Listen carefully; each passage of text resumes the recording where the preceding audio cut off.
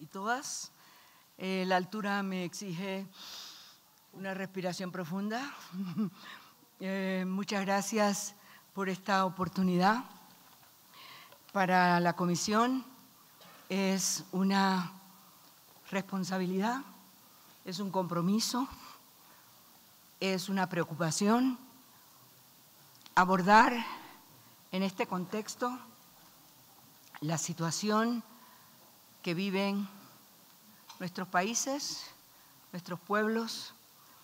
Y agradecemos profundamente la posición de comunicación, de información, de apoyo de toda la sociedad civil, de las organizaciones eh, de... ¿Dónde está mi hoja? Esta no es. ¿Sí? Sí, bueno, es que la tengo aquí para la, división. Eh, la necesidad del aporte del Instituto Nacional de Derechos Humanos, de la universidad, es la universidad de la Defensoría, bueno, el, tema de tema comprometido directamente con mi relatoría, eh, porque para nosotros es un momento oportuno poder tener esta, esta reunión, poder contar con la presencia de la ilustre representación del Estado chileno, de su compromiso por asistir a esta audiencia que convocáramos de oficio en base precisamente a, esa, a ese sentimiento de eh, compromiso, de responsabilidad, pero también de solidaridad con todo el pueblo chileno. Autoridades, sociedad civil, organizaciones en general. Eh, vamos a distribuir el tiempo para la sociedad civil le vamos a dar 15 minutos. A las entidades autónomas que están acompañándonos les vamos a dar 10 minutos que podrán distribuirse entre, entre ustedes y 15 minutos para la representación de las autoridades del Estado. Eh, luego estaremos haciendo algunos comentarios, los comisionados y comisionadas presentes eh, y las relatorías igualmente. Me acompaña en el día de hoy el comisionado Luis Ernesto Vargas como relator de país, la comisionada Flavia Piovesán, el secretario ejecutivo, las secretarías adjunta y las relatorías especiales de la comisión.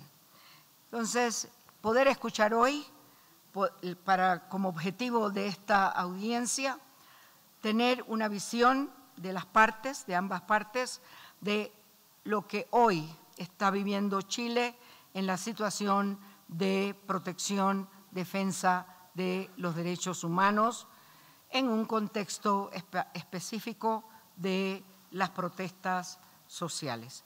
Vamos a darle de inmediato la palabra a la sociedad civil por 15 minutos. Muchas gracias, señora presidenta. Eh, en nombre de la Universidad de Chile y como parte de la sociedad civil, queremos agradecer a la Comisión Interamericana su preocupación frente a la situación de graves, masivas y sistemáticas violaciones de derechos humanos que vive Chile.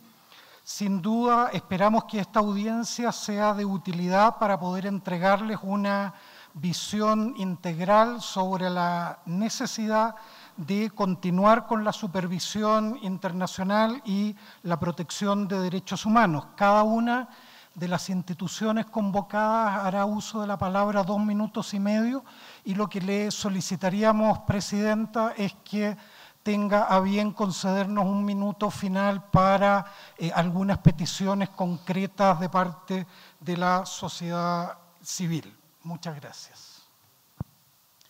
Comisionadas y comisionados, La vigencia de la Convención Americana de Derechos Humanos hoy día está amenazada en Chile.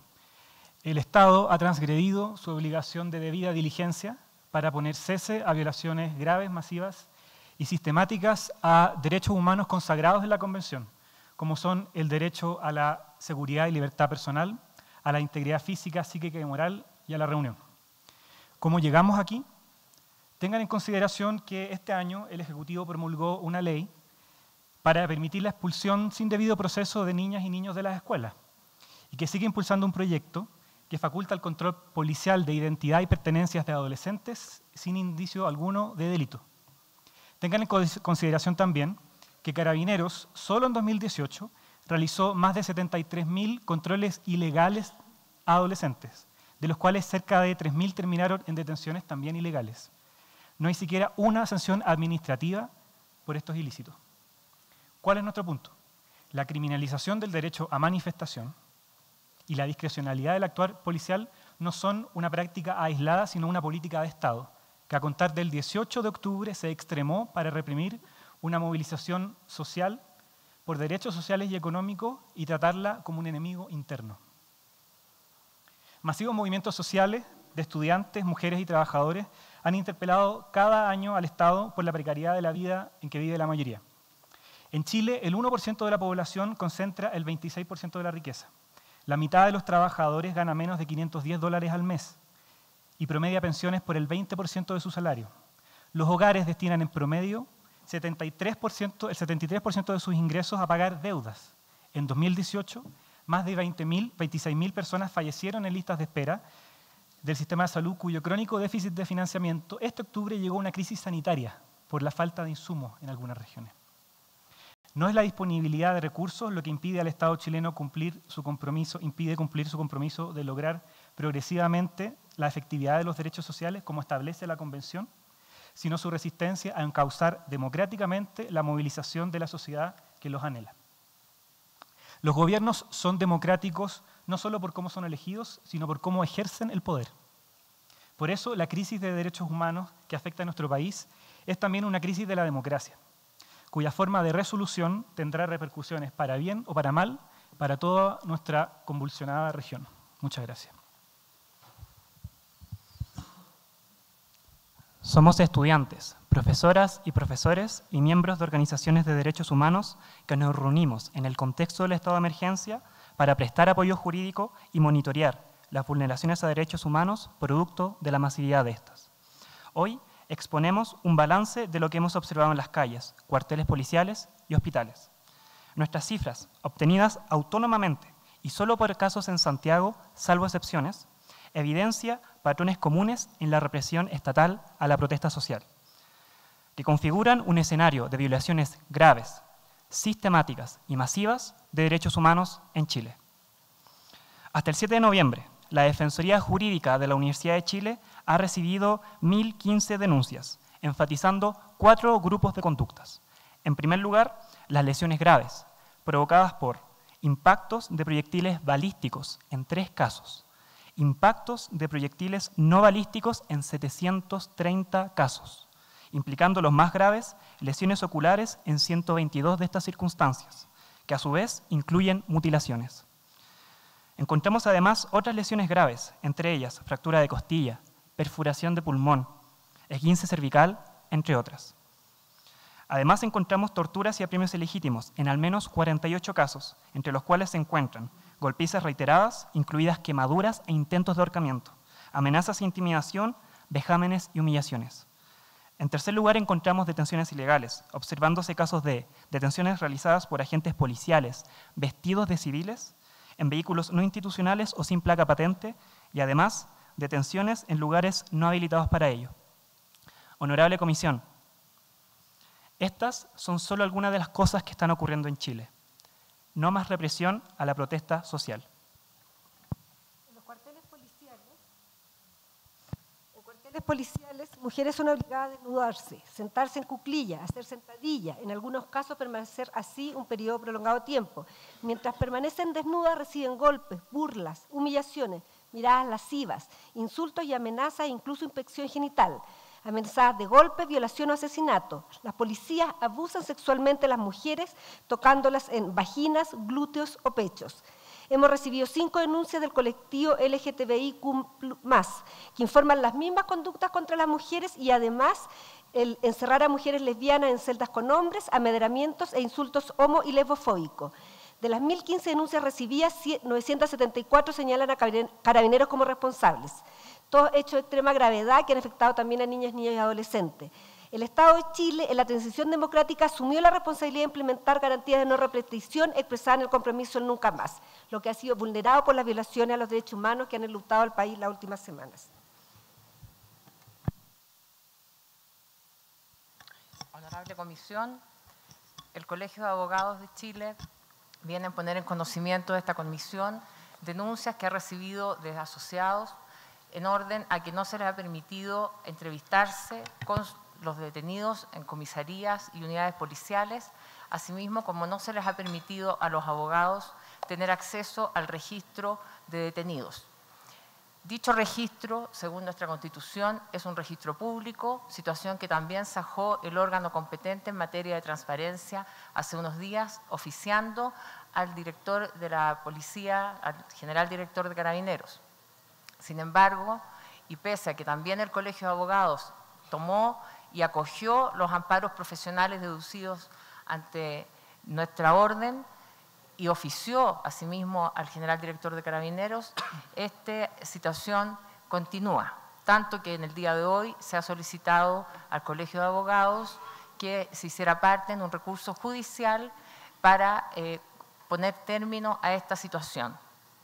Queremos eh, visualizar que si los abogados y abogadas de Chile no pueden ejercer adecuadamente los derechos que le competen como profesionales, y que dice en relación precisamente con poder tomar contacto con sus defendidos, con los detenidos, poder eh, ejercer el derecho que la Constitución consagra, que la ley consagra, malamente vamos a poder ejercer eh, una garantía respecto de los detenidos. Si nosotros no podemos acceder a ellos, ¿cómo pueden tener acceso a la defensa jurídica? Eh, muchas gracias, comisionado. Primeramente quisiera agradecer a la Comisión la invitación a participar de este foro. La Asociación Nacional de Magistrados tiene en sus estatutos como uno de sus objetivos principales el respeto y protección de los derechos fundamentales de todas las personas. Durante la crisis social desatada en octubre del presente año, ejecutamos las siguientes acciones se realizaron a nivel nacional una serie de coordinaciones con otros intervinientes en el proceso penal y de familia, en especial el Instituto Nacional de Derechos Humanos, la Facultad de Derecho de la Universidad de Chile, la Defensoría de la Niñez, el Ministerio Público y la Defensoría Penal Pública, con el fin de cautelar debidamente los derechos de los detenidos por causa de los estados de excepción, debido al alto número de detenciones que en general se duplicaron y hasta triplicaron de su número habitual a medida que se recrudecieron los actos de violencia, emitimos una declaración pública llamando a quienes ejercían funciones de orden y seguridad a respetar los derechos fundamentales y a utilizar el uso racional de la fuerza conforme la normativa internacional vigente. Además, jueces y juezas de garantía y familia recorrieron comisarías de carabineros del país para observar las condiciones de detención de las personas recluidas en dicho recinto. A lo largo de la situación de crisis hemos observado algunas deficiencias de funcionamiento del sistema que queremos compartir con la Comisión con el fin de hacer un llamado al Estado a, corregirlas.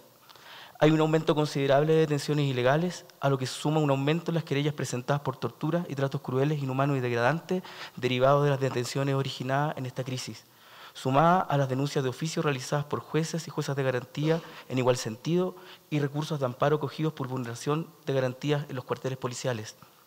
En las comisarías de carabineros de Chile se ha dificultado el acceso a la información sobre la identidad de las personas detenidas, entorpeciendo con ello la labor de abogados que querían asumir las defensas y aumentando de manera innecesaria la angustia de los familiares de las personas detenidas.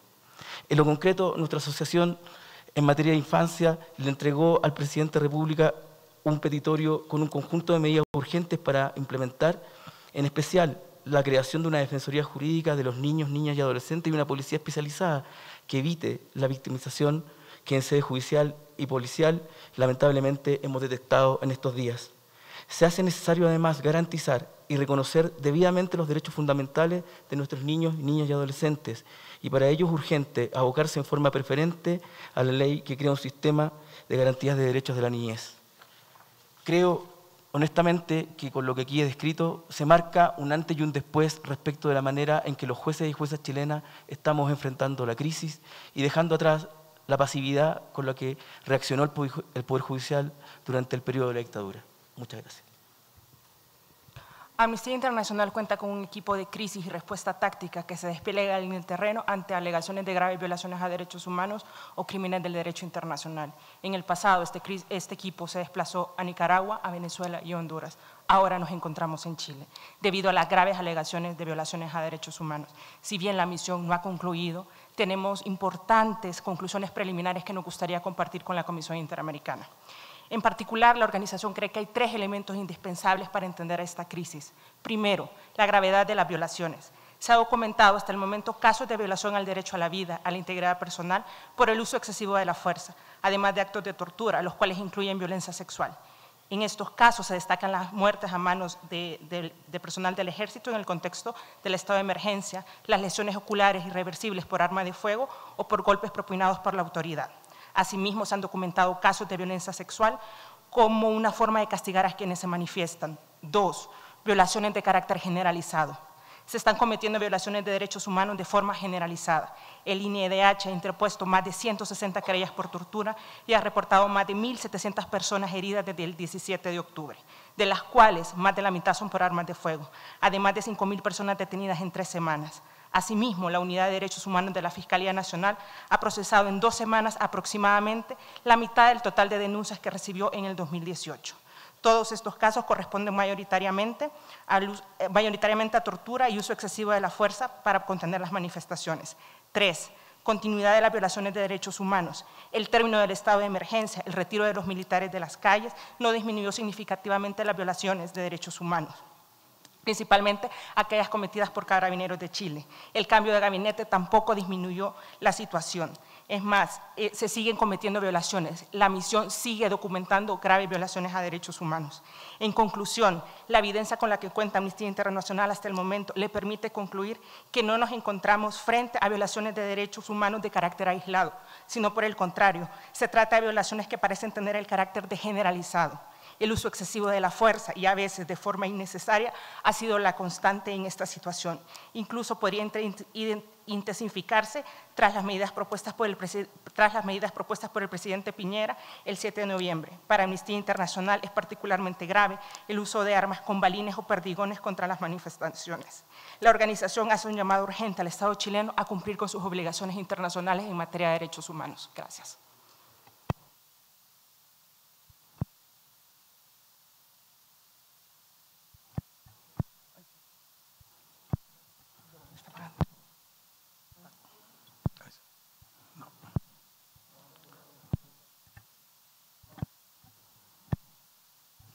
Ahí sí, ahí sí. Ese tiempo me lo descuenta, Presidenta. En, Presidenta, en el marco del estado de emergencia, pero también posterior a su levantamiento, lo que ustedes han podido escuchar es una constante de violaciones de derechos humanos en el marco de la legítima protesta social. Por tanto, queremos formular algunas peticiones en concreto. En primer lugar, solicitamos a la Comisión Interamericana que exija al Estado de Chile y particularmente al Gobierno cesar de inmediato la represión y las violaciones graves, masivas y sistemáticas de derechos humanos. Asimismo, se debe iniciar un proceso para conocer la verdad de lo acaecido en Chile, establecer las responsabilidades correspondientes y reparar a las víctimas la sociedad civil en Chile tiene un compromiso profundo para que esta vez no haya impunidad. Valoramos sin lugar a dudas que el gobierno haya aceptado el clamor ciudadano de acceder a la visita en loco de la Comisión al país. Por ello, solicitamos en este acto que la Comisión prepare un informe general sobre la situación de derechos humanos en Chile a partir de la visita en loco. Dicho informe debiera dar cuenta integral de la violencia institucional, los déficits democráticos y la falta de protección efectiva de los derechos humanos y dar recomendaciones que sirvan como pautas de actuación a las autoridades. Solicitamos que dicha visita cuente con el apoyo de las relatorías DESCA y Libertad de Expresión y además también con un compromiso de todas las relatorías temáticas, en particular la de mujeres, pueblos indígenas, grupos LGTBI y niños, niñas y adolescentes. En el marco de las atribuciones que le confiere la Convención americana y su reglamento comisión a partir del informe que se realice y las medidas que adopte el Estado, solicitamos que la Comisión considere y evalúe incluir al Estado de Chile dentro del capítulo cuarto de su informe anual, donde se deja constancia histórica de las situaciones más graves, masivas y sistemáticas de violaciones de derechos humanos en la región. Por último, el carácter grave masivo, sistemático de las violaciones que hemos denunciado, debiera ser que la Comisión ponga en carácter de urgente en función todos los mecanismos a su disposición para la protección de los derechos humanos en Chile. Por ello, solicitamos estudiar la creación de un grupo de trabajo para el caso de nuestro país, similar a los mecanismos que en estos momentos existen en el continente para otras situaciones tan graves como la nuestra, es decir, la de Venezuela y la de Nicaragua. Agradecemos, señora presidenta y miembros de la comisión, su atención y quedamos a su entera disposición para aclarar cualquier aspecto de nuestra presentación. Muchísimas gracias. Paso inmediato a la representación de las entidades autónomas, Instituto Nacional y la Defensoría, distribuyéndose el tiempo de 10 minutos. Muchas gracias, señora Presidenta, honorable comisión, secretarios, secretarias, relatores especiales. Vamos a irnos el tiempo con cinco minutos cada institución. En cinco minutos es, imposible comunicarle a todos la, situación que vive Chile, eh, pero lo haré directamente, sin rodeo. La situación en Chile es grave y en Chile se han violado los derechos humanos. No nos confundamos, porque una cosa es la responsabilidad penal individual, que en estos momentos está en curso, pero otra cosa muy diferente, muy diferente son las violaciones de derechos humanos, que existen en los casos que nosotros hemos conocido y las denuncias que nosotros hemos procesado. La responsabilidad penal va por cuerdas separadas, y en eso existe un compromiso junto con el Poder Judicial, el Ministerio Público, actuando coordinadamente con el Instituto de que no existirá impunidad. La honorable comisión, así como los demás participantes, tienen los últimos datos del Instituto Nacional de Derechos Humanos, se los lo entregamos en unas carpetas. Y en ese contexto de crisis, los datos que informamos tristemente son una realidad del país y son casos que solo pueden aumentar con el paso del tiempo y están aumentando. Tenemos que poner un alto, y eso en el instituto es muy claro llamando inmediatamente a deponer todos los actos violentos que afectan los derechos humanos y, por supuesto, con las prácticas de violación a los derechos humanos. Me quiero detener en cuatro situaciones en honor al tiempo. Una primera situación es la vulneración del derecho a la manifestación pacífica. Nosotros hemos documentado una gran cantidad de prácticas sobre uso indiscriminado de la fuerza. Está en los informes más detallados. Una segunda situación. Hemos conocido y accionado judicialmente en casos de violencia sexual, donde las víctimas son hombres, mujeres, niños y niñas, de las vulneraciones reiteradas se encuentran los, desnudamientos. Es inentendible que el Estado, sabiendo que esto está prohibido, aún así se sigan registrando denuncias. De las 283 acciones judiciales que nosotros hemos realizado, 52 son por violencia sexual hasta la fecha. Una tercera situación es que existen cinco personas asesinadas por acción directa de agentes estatales. El instituto está accionando en cada uno de estos casos y existen otros casos que se están evaluando, por supuesto, por el Ministerio Público y el Instituto tomará las decisiones cuando tenga más información. La cuarta situación, que creo que es la más urgente, es que en Chile existen 197 personas que han sufrido trauma ocular, especialmente por disparos de escopetas, pero también por otras armas, como lanzamiento de bombas lacrimógenas. El último caso que creo que todos hemos conocido y que nos ha afectado profundamente es el del estudiante en Santiago que este sábado ya perdió un ojo y probablemente pierda su segundo ojo. Los casos no se concentran en Santiago, probablemente en Santiago están los casos más conocidos, pero esto es en todo Chile. ¿Cómo se explica entonces que eh, tengamos esto, este patrón? Esto es una, es una pregunta que nosotros no, hacemos. Y nuevamente no nos confundamos. Una cosa es la responsabilidad penal y otra cosa es la responsabilidad de prevenir la vulneración de derechos humanos. E independiente que nosotros encontremos a la persona que haya disparado, ese disparo no pudo sino haber salido por un agente del Estado. Entonces, ¿qué esperamos para poner un alto a esta situación? Y creo que el gobierno con lo, que ha anunciado el día de ayer y, en ese el, director del instituto también lo ha dicho, puede ser un avance, pero nosotros estamos muy preocupados de que esto no eh, genere nuevos casos y realmente esperamos que esto, termine. Junto con estas situaciones urgentes, porque para el uso de escopetas eh, con daño ocular es urgente, hay que señalar que han existido también casos de afectación a la libertad de expresión contra comunicadores sociales que también la sociedad civil y el instituto ha transmitido a la Relatoría Especial.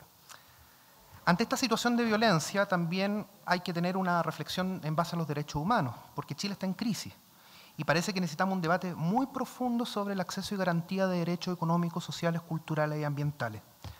El gobierno también anunció un proceso de cambio constitucional y esperamos que ese proceso sea participativo. El Instituto Nacional de Derechos Humanos en el año 2014 y 2015 ya dio lineamientos como ese proceso tiene que cumplir estándares internacionales. Y eso podría ser una forma de salir de la crisis no llamando al COSENA, con diálogo y justicia. Por otra parte, la Honorable Comisión sabe muy bien que la vigencia de los derechos humanos necesita un ambiente de paz y diálogo, y la violencia, venga donde venga, es contraria a los derechos humanos. Quiero aprovechar esta oportunidad, y el Instituto siempre lo condena, que el Instituto condena la violencia enérgicamente. Y el sistema interamericano también tiene experiencia sobre lo que ocurre cuando existe una percepción que el Estado es incapaz de respetar y garantizar los derechos humanos. Y surgen los grupos de autodefensa ante la frustración y el miedo que se enfrentan a otro ciudadano y cometen delito. Eso pasó ayer en Viña del Mar. En Viña del Mar una persona le disparó a manifestantes, hiriendo a uno. Esa persona está en prisión preventiva y es una preocupación para nosotros. Ese germen, que es peligroso, sabemos que eh, no, sabemos por la experiencia de nuestros países vecinos que es muy peligroso y no cometamos ese error en Chile. Desde el 19 de octubre Chile no va a volver a ser el mismo. Eso lo ha dicho el ministro del Interior, el ministro de Hacienda. Pero los cambios tienen que ir en la dirección de garantizar derechos humanos, no debilitarlos. Sería inaceptable que la crisis nos llevara a una disminución del espacio democrático. No podemos permitir la disminución del espacio democrático. No nos olvidemos también de las víctimas, porque las cifras representadas en los informes, los informes de la sociedad civil, tienen nombre y apellido, tienen cara. Y no solo hay que garantizar la justicia y luchar contra la impunidad, sino que asegurar su reparación y el derecho a la verdad. Quisiera finalizar mi intervención, señora presidenta, señores comisionados, eh, agradeciendo también que el Estado haya invitado a la Comisión Interamericana y tengan por seguridad toda la garantía que el Instituto va a cooperar con toda su actividad en Chile. Muchas gracias. Señora Presidenta, señores comisionados, Patricia Muñoz García, defensora de las niñas de Chile. Agradezco, por cierto, la invitación y convocatoria y también el que se haya generado esta audiencia de oficio por parte de esta comisión para abordar la grave situación que enfrentan los derechos humanos de niños, niñas y adolescentes en Chile. Me permito tener una presentación que ustedes podrán observar y que dice en relación con aquellos casos que directamente como institución nosotros hemos recibido en términos de denuncia de niños, niñas y adolescentes. Y ustedes pueden apreciar en esa gráfica que tenemos a lo menos 174 casos en que niños, niñas y adolescentes de nuestro país a lo largo de todo el país han sido víctimas de violaciones a sus derechos humanos. También pueden apreciar ahí la distribución de cómo son los tipos de lesiones que han debido enfrentar como víctimas estos niños, niñas y adolescentes. Acá solo están expresados los números. Me encantaría que ustedes pudieran conocer cada una de esas caras, porque para el Estado hablar de 5 o 20 personas tiene que ser hablar de personas que han sufrido directamente del accionar estatal. Y la frialdad que tienen los números no logra transmitir menos en cinco minutos la brutalidad de la violencia estatal. Tenemos heridas a balas en 12 casos de niños, niñas y adolescentes. Balas disparadas por agentes del Estado heridas de perdigones en 26 casos, 55 casos de agresiones físicas en que hay agentes del Estado, policías que se creen que pueden utilizar su fuerza y el mandato constitucional no para proteger a quienes juraron defender, sino que para violentarlos. Cinco casos de niños con trauma ocular.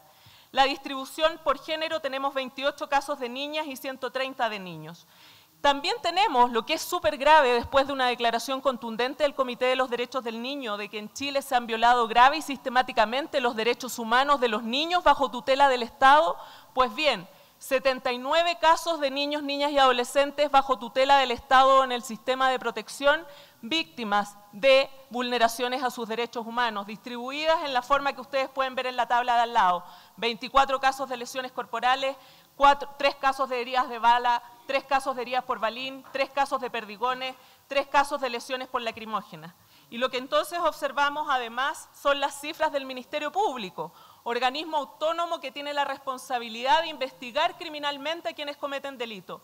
1.089 víctimas en Chile de violaciones y de delitos constitutivos de vulneraciones a los derechos humanos. ¿Distribuidas en qué forma? 770 casos de apremios ilegítimos, 267 casos de abusos contra particulares, 24 casos de tortura, 38 casos de desnudamiento, 4 amenazas de agresión sexual, 9 abusos sexuales y o violaciones, una detención ilegal.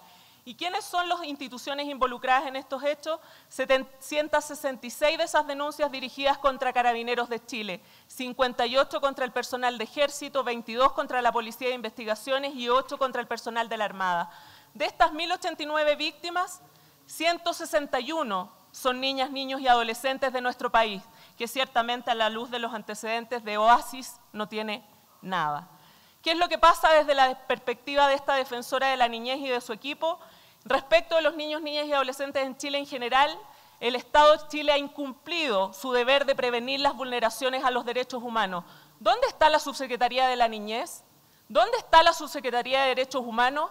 ¿Qué rol tienen respecto de las acciones que se decretan del Poder Ejecutivo?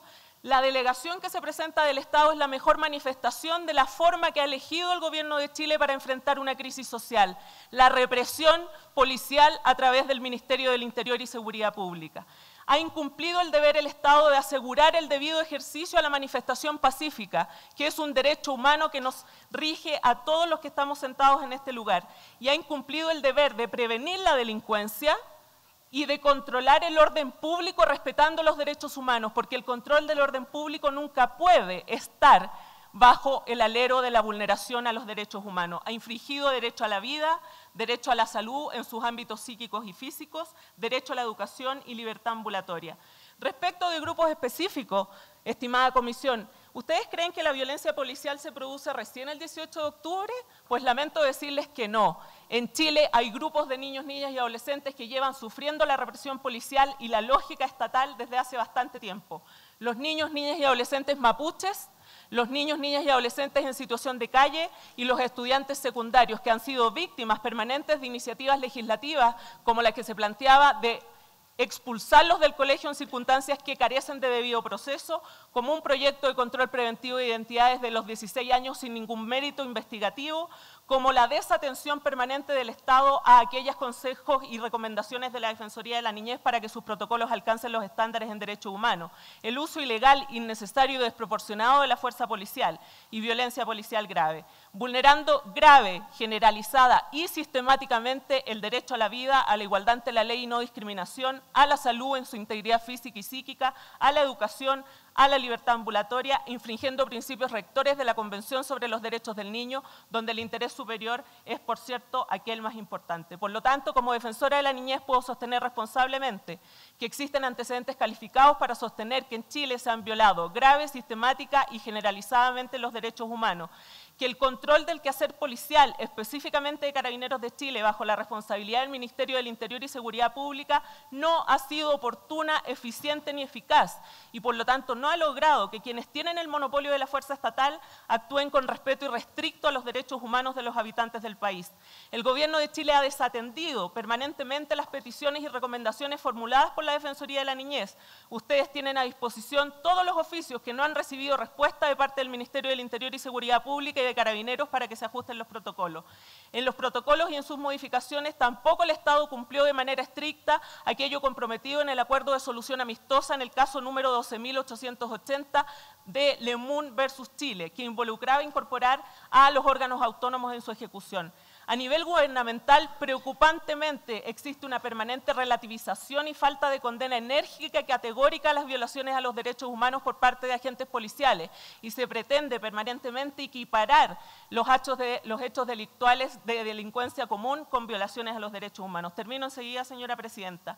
Existen serias falencias en la entrega de información. El Ministerio de Salud ha negado la información a la Defensoría de la Niñez para conocer todos los niños, niñas y adolescentes heridos y tampoco conocemos en cuántos de esos casos casos ha intervenido el Servicio Médico Legal para aplicar protocolo de Estambul en los casos de tortura. Por ello, solicito respetuosamente al Gobierno de Chile que dé cumplimiento a su deber comprometido desde 1990 al ratificar la Convención de los Derechos del Niño de prevenir las vulneraciones a sus derechos humanos, que integre en cualquier proceso social que genere en razón de esta crisis la participación efectiva de niños, niñas y adolescentes en virtud de su derecho a ser oído, que instruya a través del Ministerio de Seguridad Pública y de Interior el inmediato cese de las acciones de represión y violencia policial que se ejecuta contra niños, niñas y adolescentes, que condene enérgica y categóricamente la violencia provocada por agentes policiales, adoptando decisiones políticas respecto de quienes tienen la responsabilidad de que dicha violencia estatal no se produzca, que adopte decisiones que, desde la responsabilidad política, pero sobre todo desde la responsabilidad ética, involucren una solución efectiva al conflicto social. Y a la Comisión solicitar que se realice a la máxima brevedad la visita in loco que ya ha sido autorizada por el Gobierno y conforme a lo establecido en el artículo 25 del reglamento de la Comisión, que tenga el informe que se ha puesto a disposición de esta institución, como también los documentos y esta presentación, como suficiente mérito para acoger una medida cautelar consistente en dos medidas específicas. Primero, que respecto de todos los niños, niñas y adolescentes de Chile prohíba el uso de escopetas antidisturbios por parte de carabineros de Chile en el contexto de las manifestaciones sociales. Y segundo, que respecto de los niños, niñas y adolescentes que ya han sido víctimas de violencia estatal, solicita al Estado atención psicológica especializada, gratuita e inmediata para reparar los hechos vividos. Eso es todo, señora Presidenta. Muchas gracias. Disculpa por la presión, pero es el tiempo, ¿verdad? Eh, vamos a darle la palabra a la representación del Estado chileno.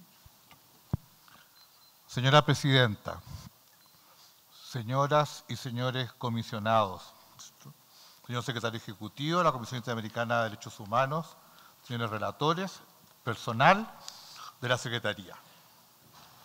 Nuestro país ha vivido graves e inéditas acciones de violencia, vandalismo y destrucción la gran cantidad de hechos ocurridos, su simultaneidad y gravedad llevaron a una manifiesta alteración del orden público y la seguridad ciudadana, las que no fueron posibles de ser restablecidas por nuestras fuerzas de orden, las que se vieron sobrepasadas en la noche del día 18 de octubre y madrugada del 19.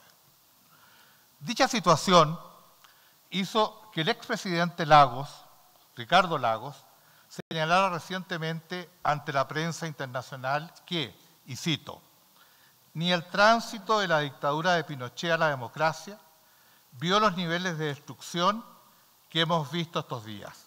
Cierre de la cita. La respuesta del Estado frente a esa amenaza excepcional fue proporcional a la gravedad que ella planteaba el presidente de la República declaró el estado de emergencia, que es uno de los cuatro estados de excepción constitucional contemplados en nuestro ordenamiento jurídico y que permiten responder frente a este tipo de circunstancias extraordinarias de violencia.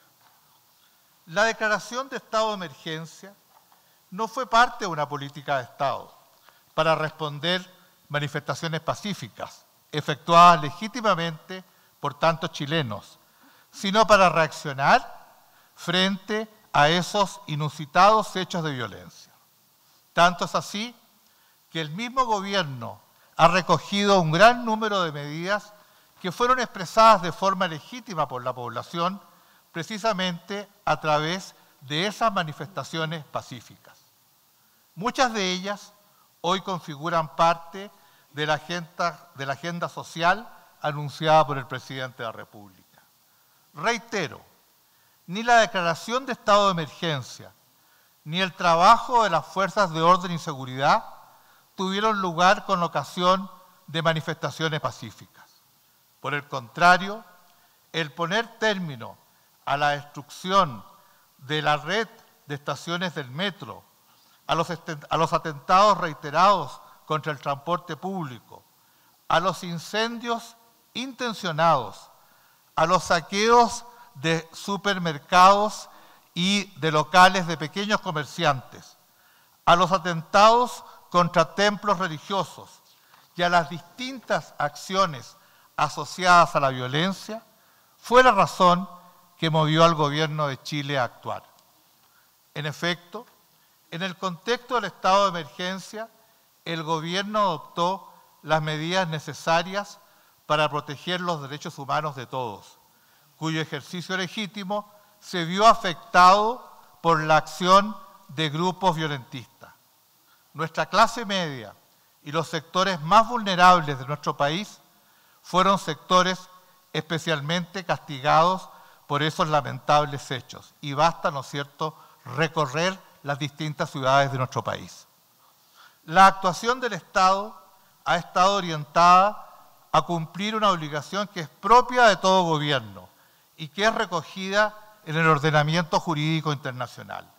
Esa obligación exige que el Estado adopte las medidas que conforme a su legislación interna permitan asegurar un régimen de libertad personal y de justicia social fundado en el respeto de los derechos esenciales del hombre, tal como lo señala el preámbulo de la Convención Americana sobre Derechos Humanos.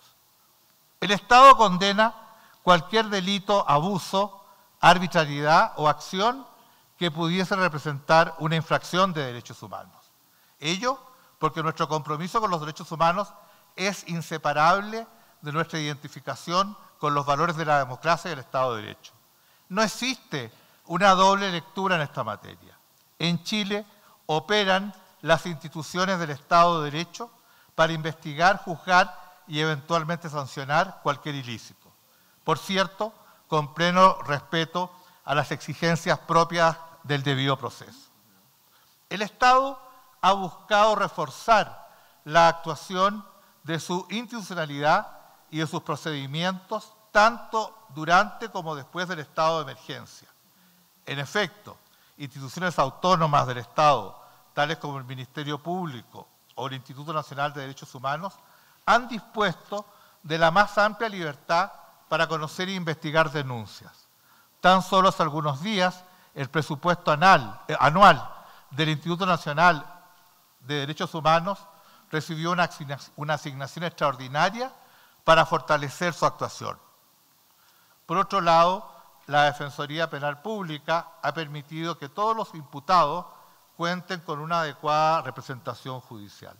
También los tribunales de justicia han actuado ejerciendo la plenitud de sus atribuciones constitucionales y legales. De hecho, por disposición constitucional, la declaración de estado de emergencia en caso alguno afectó el ejercicio de las potestades de los órganos jurisdiccionales y de persecución penal. Finalmente, es necesario señalar que durante el estado de emergencia las actuaciones del gobierno estuvieron sujetas plenamente al control político de la Cámara de Diputados, según lo establece la propia Carta Fundamental. Todo ello da cuenta de un Estado de Derecho y de una democracia comprometida con los derechos humanos y, sus instituciones, que no admitirá impunidad alguna tratándose de cualquier tipo de infracción de derechos humanos. En ese mismo sentido, el Estado invitó a la alta comisionada de Derechos Humanos de Naciones Unidas para realizar una visita a nuestro país. Similar invitación se formuló a Human Rights Watch. Durante el estado de emergencia y después de concluido este, el gobierno de Chile ha cooperado plenamente en el envío de información relevante de derechos humanos a esta comisión. Quiero manifestar que el gobierno de Chile, como ya se ha dicho, ha extendido una invitación al secretario ejecutivo de la Comisión Interamericana de Derechos Humanos con el objeto de preparar la visita solicitada formalmente por esta. En conclusión, lo anterior da cuenta de nuestro compromiso irrestricto con la protección de los derechos humanos. Como gobierno estamos trabajando para poner término a los actos de, violencia por todos conocidos. Sabemos que ello, precisamente, representa la mejor forma de asegurar los derechos de todas las personas en el complejo contexto que hoy estamos viviendo. Señora Presidenta, a continuación cederé la palabra al señor Mijael Bonito, representante del Ministerio del Interior y Seguridad Pública. Muchas gracias. Señora Presidenta, estimados comisionados, señor Secretario General, eh, señores de la sociedad civil, el NDH, la Defensoría de la Niñez, Eh, la, la, amenaza excepcional que enfrentó Chile tiene como antesala una serie de evasiones masivas que se fueron incrementando desde el día 14 al día 17, eh, teniendo el día 17 de octubre un total de 92 actos de violencia. En ese día se cerraron cuatro estaciones de metro y fueron atacadas brutalmente, terminando una con todos sus validadores eh, destruidos. Ese mismo día, nueve estaciones del metro eh, fueron eh, objeto de disturbios y por lo que fue necesario de dar término al suspender el funcionamiento de la línea 1, luego de que algunos manifestantes que iban en un vagón activaran los frenos de emergencia en la estación Los Héroes.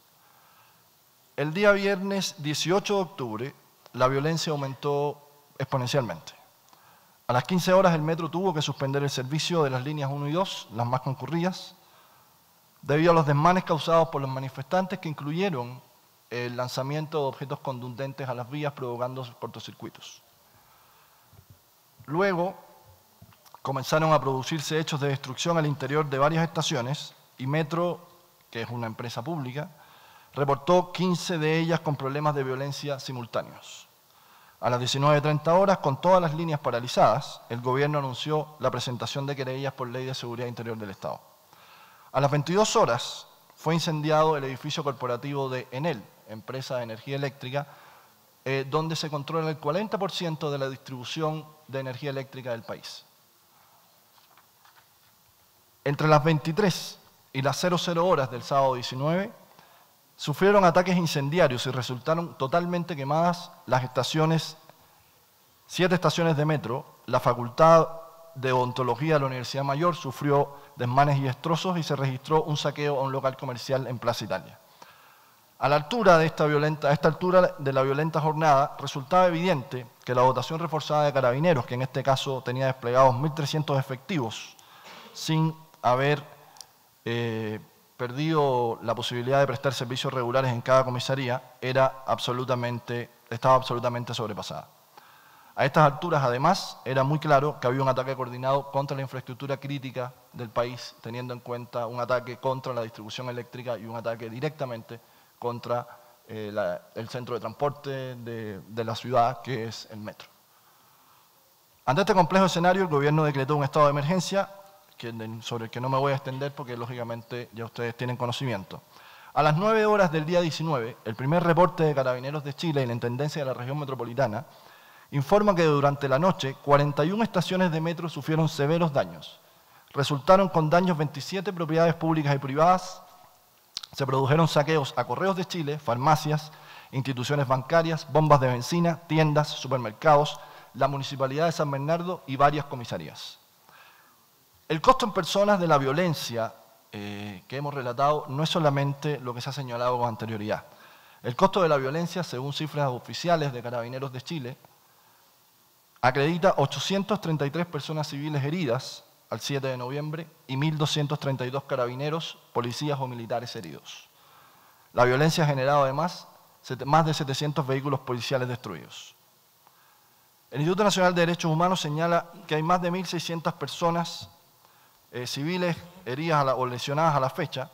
Sin embargo, olvidan señalar que si bien se, que quien detenta el uso monopólico de la fuerza legítima, que es Carabineros de Chile y las fuerzas de orden y seguridad interior del Estado, tienen más de 1.200 personas lesionadas hace cuatro días. Hoy día tienen más de 1.300 o casi 1.400 personas, eh, funcionarios lesionados. Eh, acá se trata de disturbios y una violencia sin parangón y no solamente de manifestaciones pacíficas. Sin duda, las pérdidas más dolorosas para todos han sido los 20 compatriotas que han fallecido. Eh, cinco de ellos en investigación, eh, probablemente por eh, participación de funcionarios del Estado, y la gran mayoría de ellos fue producto de haber, sido, haber resultado calcinados durante saqueos e incluso una electrocución durante un saqueo. La magnitud del daño, entonces, en general, es la afectación directa diaria de 2.900.000 chilenos que tienen 93 estaciones vandalizadas, 25 estaciones total o parcialmente quemadas y 10 trenes quemados. El costo mínimo de la reparación, de la reparación del, solamente del metro es de 367 millones de dólares y volverá a estar en funcionamiento de forma normal de acá a diciembre del año 2019, 2020. Perdón. El gobierno ha tomado medidas preventivas y correctivas sobre el tema de la protección de derechos humanos y sobre todo en el uso de la fuerza. En el mes de diciembre, el presidente dictó un decreto supremo que entrega lineamientos generales sobre el uso de la fuerza, mandatando para su uso a Carabineros de Chile para la protección de la seguridad pública y los derechos de las personas, el respeto a la legalidad, el uso siempre en el marco de atribuciones, y que deben emplear elementos o adoptar las medidas menos dañinas posibles. En virtud de esto, se actualiza la circular para el uso de la fuerza y los protocolos para el mantenimiento del orden público, cuyas revisiones deben realizarse cada cuatro años. Este, esto fue en el mes de marzo del año 2019. Además, se exige presentar un informe con información estadística relativa al uso de la fuerza y episodios violentos a carabineros de Carabineros de Chile al Ministerio del Interior, el cual ya fue remitido, el primero de ellos, el mes de julio del año 2019. Ante la crisis que se presentó por la actuación en el caso Catrillanca, se acordaron además 15 medidas de acción, entre las cuales están la revisión y actualización constante de los protocolos, la creación de la Dirección de Derechos Humanos, que antes tenía categoría de departamento, y el fortalecimiento de programas de formación continua en derechos humanos para el personal operativo, que solamente este año tiene más de 7.000 personas capacitadas. El promedio de los años anteriores ha sido de 14.000. La Orden General 2635 moderniza todos los protocolos de mantención de orden público. Además, se crea una mesa técnica entre Carabineros de Chile, la Subsecretaría del Interior, la Subsecretaría de Derechos Humanos, el INDH y la Defensoría de los Derechos de la Niñez aquí presente.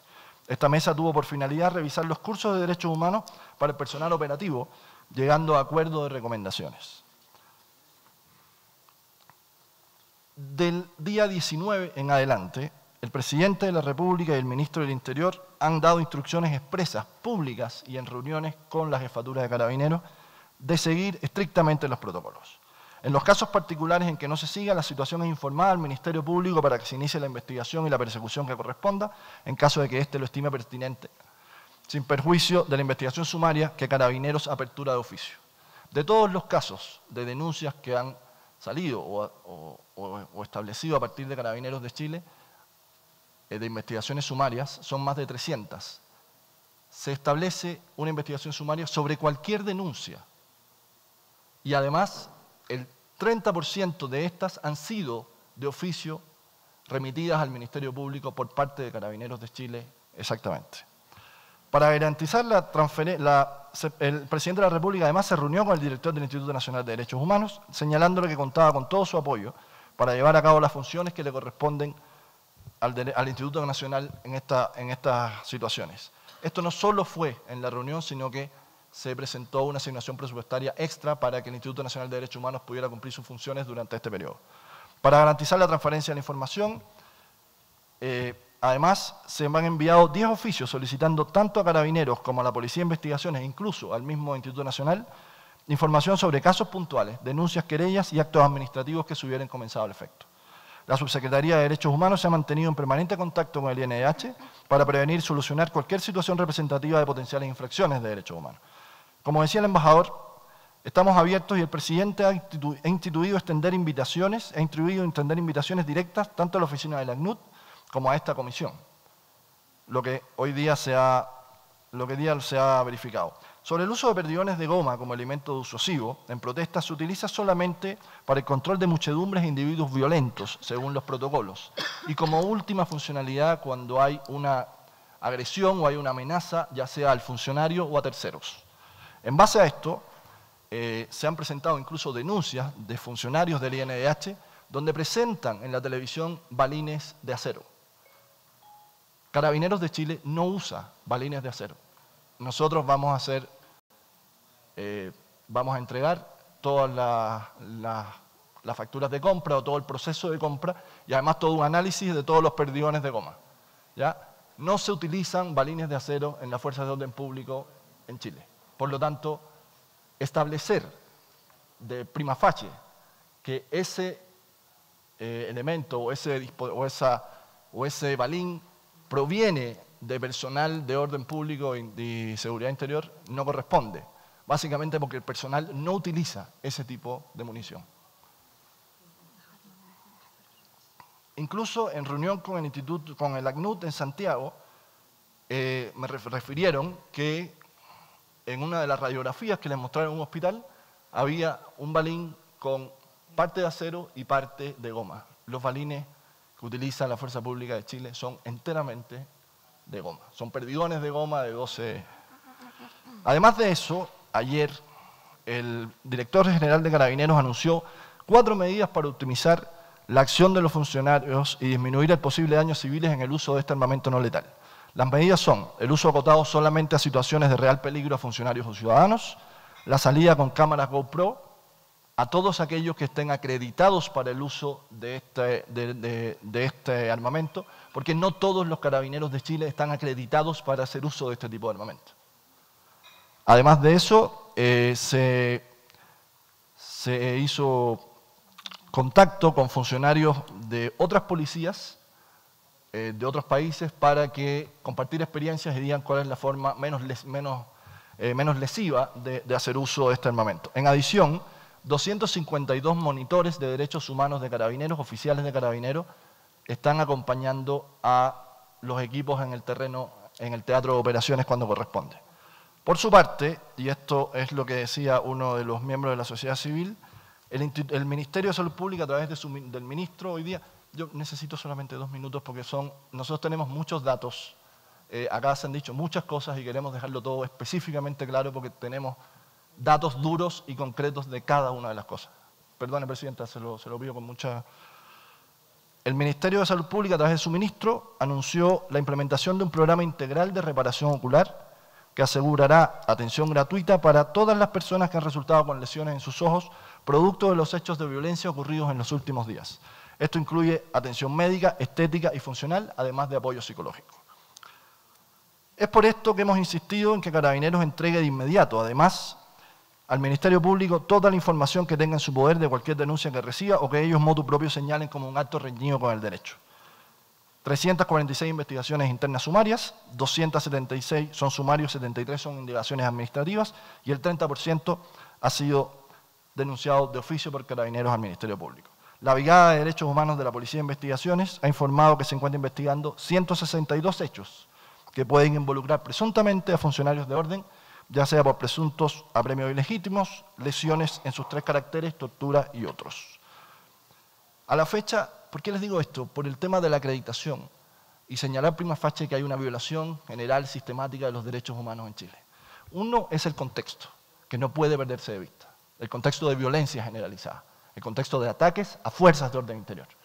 Eso en primer lugar. Y en segundo lugar, porque se han dado casos de denuncias que han sido muy públicas, tremendamente públicas, tal como la que les dije del balín de acero de un funcionario del INH, o en su efecto de denuncias de 28 personas supuestamente presuntamente desaparecidas, que circularon por las redes sociales, que tuvieron la condena más extensa de todas las redes sociales y, perdón, 12 de las personas ni siquiera habían salido de sus residencias y todas estaban bien y en ningún minuto estuvieron detenidas ni nada por el estilo.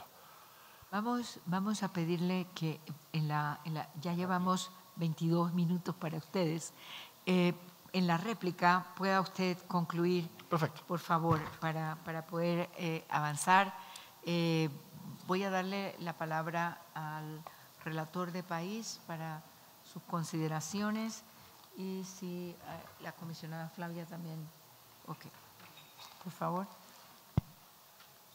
Gracias, señora Presidente, y muchas gracias a las partes, tanto a la sociedad civil como a los representantes del Estado por estar aquí en la audiencia.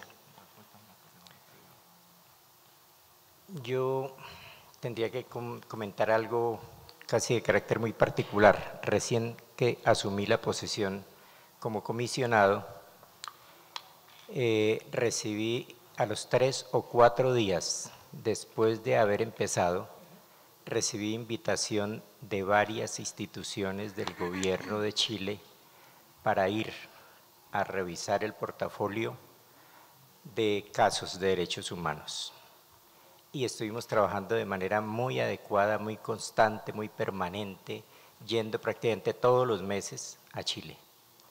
Eso ocurrió hasta febrero del año pasado.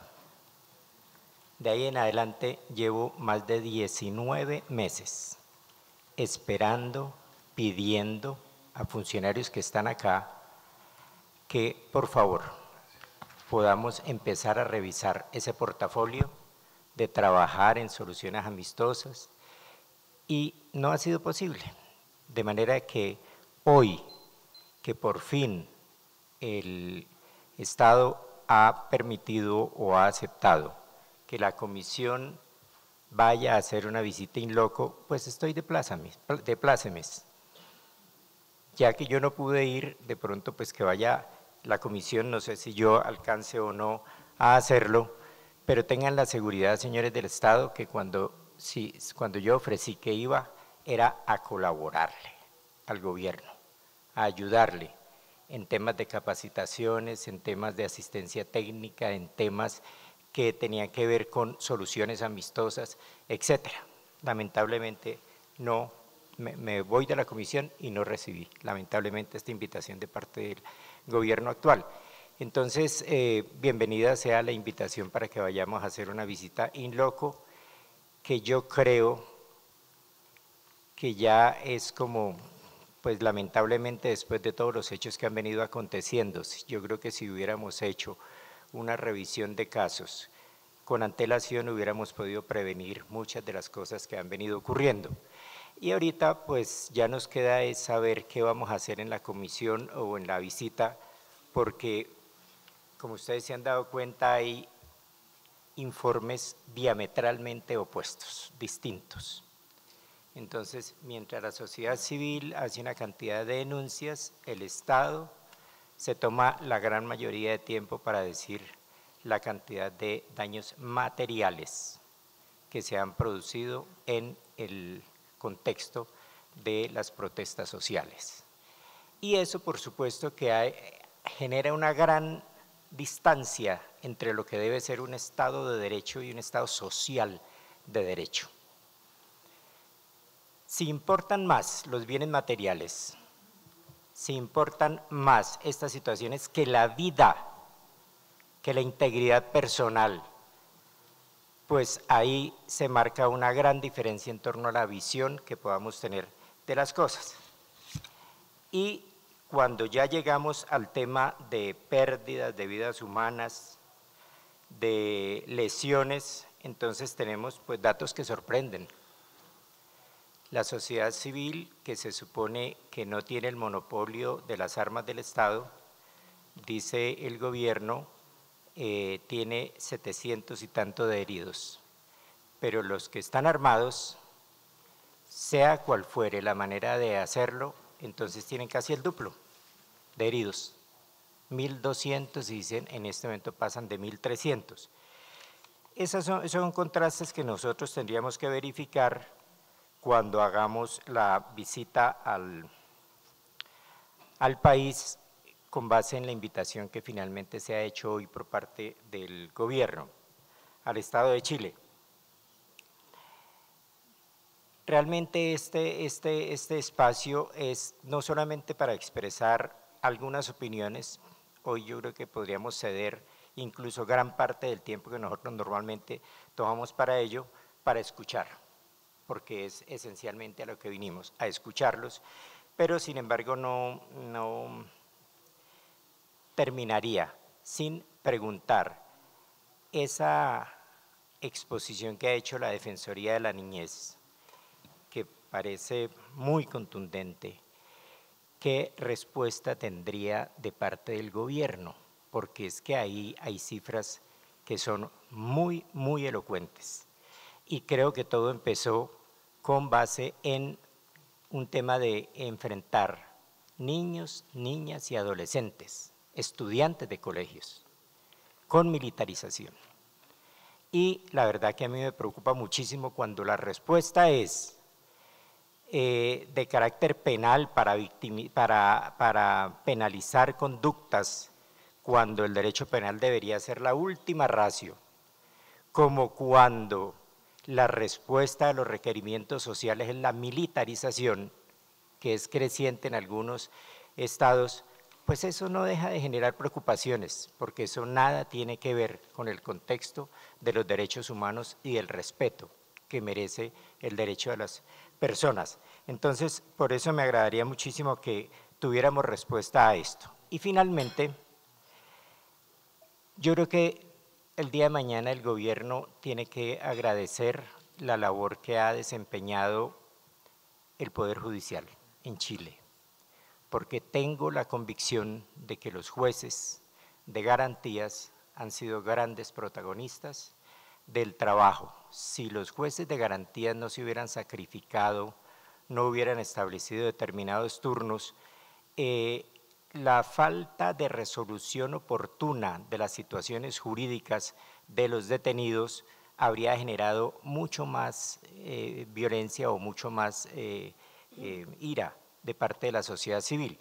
Entonces, con respecto a este tema de los jueces de garantías, encuentro una distancia entre lo que nos han planteado hoy sociedad civil, los abogados, defensores, que nos dicen que no tienen acceso al registro de detenidos. Yo lo que tengo la información es que los jueces de garantías han, eh, a través de reuniones que ojalá y hubiera coordinado el Ministerio del Interior y de Justicia, eh, pero que parece que lo hicieron ellos solos moto propio, eh, han, han dispuesto que esas listas de detenidos sí sean públicas, es decir, que sí estén al servicio de ustedes. Eh, entonces me gustaría muchísimo que ustedes nos aclararan eso, porque yo recibo la información de la vicepresidenta de la Red Latinoamericana de Jueces en torno a que sí existe eh, registro oficial de detenidos a disposición de ustedes y ustedes hoy nos dicen que no. Si eso no se llega a dar, qué pena, pero entonces ahí sería muy grave, porque estaríamos en un desquiciamiento profundo del Estado de Derecho. Si no se garantiza la labor de los abogados, la labor de la INDH eh, para la defensa de las personas enjuiciadas, como el debido proceso que también le corresponderá a los miembros de, la fuerza pública, eh, estaríamos de, de manera muy grave poniendo en serio riesgo el Estado de Derecho. Muchas gracias, Presidenta. Gracias, comisionado. Comisionada Flavia. Gracias, señora Presidenta. Saludos à sociedade civil, saludos ao Estado. Aqui, meu reconhecimento por la força-tarefa da sociedade civil, com tantos atores distintos, não? as universidades, jovens, magistrados, abogadas, abogados, coletivos feministas, Instituto Nacional de Direitos Humanos, defensorias e também ao Estado com uma representação muito significativa. Eu tenho quatro preocupações La primera tiene que ver con los números. Los números, los dados son muy oscilantes, pero son dramáticos.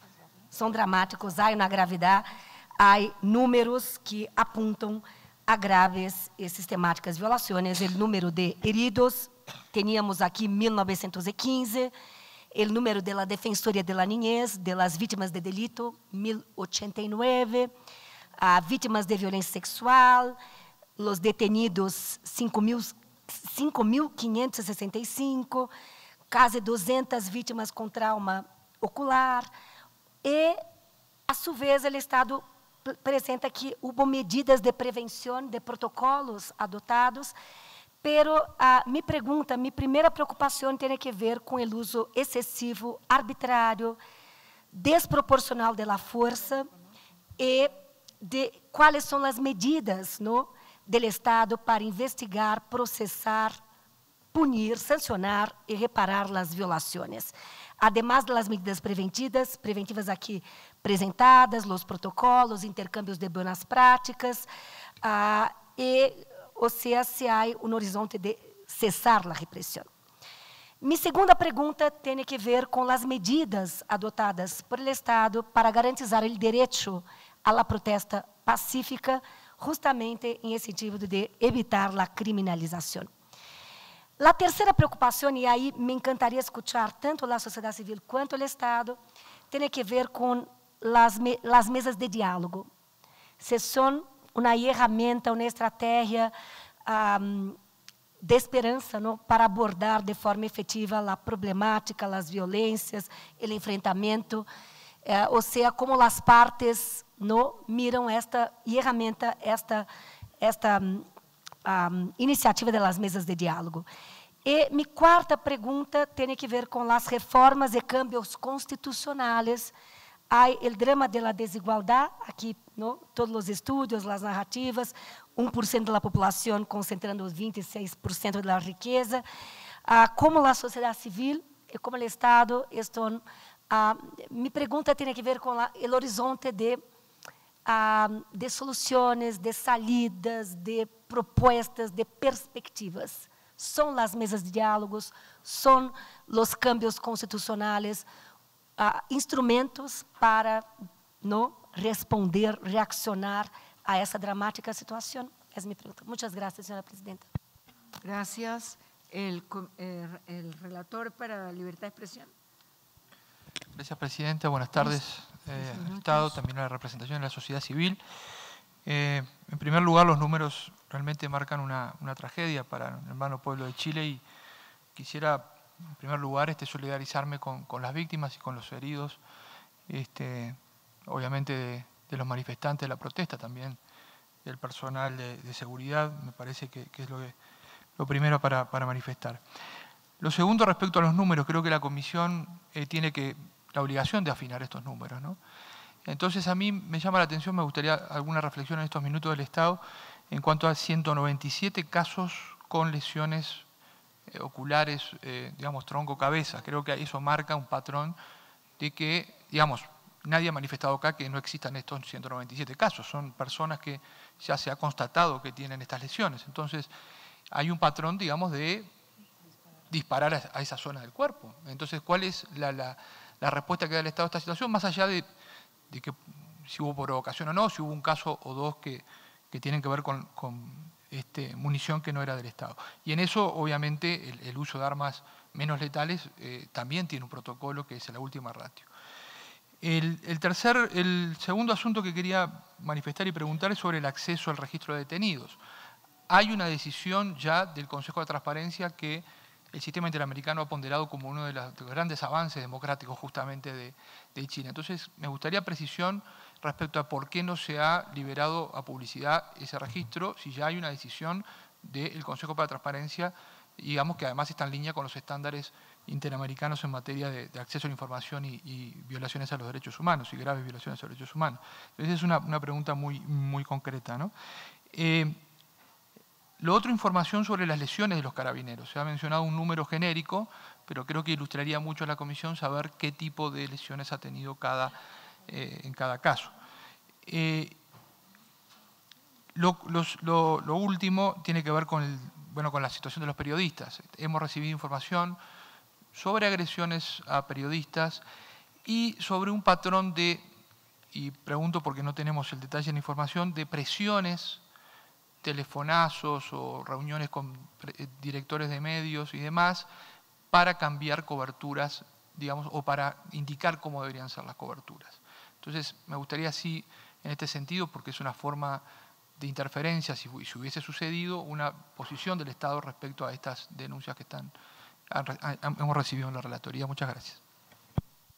La relatora para Derechos Económicos, Sociales y Culturales. Gracias, Presidenta. Con su venia. Buenas tardes a todos y a todas. Muchísimas gracias por las informaciones recibidas. Eh, son muchas las inquietudes que la situación de Chile suscita para mi mandato. Antes que nada, también solidarizarme y expresar mis condolencias a las víctimas de los hechos que, que están aconteciendo en, en el querido Chile. Y es imposible no hacer una reflexión también desde el mandato, la línea que, que el consejero Branislav Marelli y la sociedad civil también ha, ha puesto sobre la mesa de, de, que esta crisis debería suscitar, y espero que así sea, y la agenda social anunciada por el presidente parece que va en esa dirección, y de reformas y reforma constitucional, una reflexión profunda sobre las cuestiones que hacen a derechos económicos, sociales, culturales, ambientales, a la pobreza, a la desigualdad, y en ese sentido, pues ponerme eh, a disposición del Estado, de la sociedad civil, de las instituciones, como la Defensoría de la Niñez, como la Institución Nacional de Derechos Humanos, que también creo que, que, debe ser especialmente reconocida en sus funciones en el marco de esta crisis y expresar que, que también me gustaría escuchar del, del, Estado en el marco de las medidas anunciadas por el presidente, de esta agenda social, de las posibles reformas, ¿Qué, ¿Qué, medidas expresas están tomando para fomentar un diálogo social? Que me parece que es una de las mejores maneras de prevenir los conflictos sociales que, que, que ahora se están produciendo. También, lógicamente, desde el mandato una preocupación especial por el derecho a la salud en el contexto de la, de la represión, eh, de la protesta social espontánea y que, en definitiva, está clamando por dignidad. No me voy a referir a los actos de vandalismo que obviamente son condenables y, muy tristes también para el pueblo chileno, porque suponen pérdidas en todos los sentidos, pero la misma línea que decía el comisionado Vargas, ese valor vida, ese valor salud, la preocupación también por que se hayan registrado algunos eh, disparos a hospitales, creo que uno concretamente en Viña del Mar, saber tener información del Estado. Y eh, en cuanto al patrón de afectaciones oculares, el Estado nos ha dado información sobre algunas medidas muy importantes y necesarias. Yo también quisiera, porque a estas personas se les ha obviamente perjudicado su proyecto de vida y van a necesitar atención psicológica, médica, estética, pero también un apoyo económico que, les haga reencauzar sus proyectos de vida, si esto estaría también de alguna manera eh, contemplado. Finalmente, son muchos los temas, pero realmente la situación lo amerita. La sociedad civil se ha referido a expulsiones de los colegios eh, sin, em, sin, justificación. No tengo desde el mandato esa información y me gustaría escucharles también. Gracias. Muchas gracias. Eh, bien, voy a, tomo y eh, recojo las posiciones de los comisionados y comisionadas en la el reconocimiento de este, este esfuerzo de la sociedad civil por documentar, por eh, eh, eh, dar seguimiento cercano a los hechos, la valoración que se hace de una situación de, mm, difícil para el manejo de los derechos humanos de todos y todas y también la posición del Estado en señalar que hay una, una línea, una visión para alcanzar eso que dice la, relatora, eh, un diálogo social, eh, una convocatoria a la reflexión eh, una convocatoria que tiene que ser eh, generadora de confianza, de credibilidad en las propuestas de la agenda social y de eh, las reformas constitucionales que siempre dan ese espacio para poder evaluar la efectividad de las normas confrontándola con la realidad de los hechos. Yo quiero hacer hoy, en mi condición de relatora para los derechos de niños, niñas y adolescentes, primero un reconocimiento de una manera especial y contundente del protagonismo que hoy nuestros adolescentes están asumiendo en la defensa de los derechos humanos de todos y todas el protagonismo que están llevando a cabo en todos los temas. Hoy encontramos en el mundo posiciones de jóvenes, de adolescentes, chicos de 15 y de 16 años, de 14, con un planteamiento a las instituciones, a la sociedad, al Estado, cuestionando nuestro papel en la defensa de sus derechos, en, la responsabilidad que tenemos de la protección del ambiente, de la protección de la vida. Mi reconocimiento a los estudiantes de Chile porque sé que han abanderado causas nobles. Y yo le,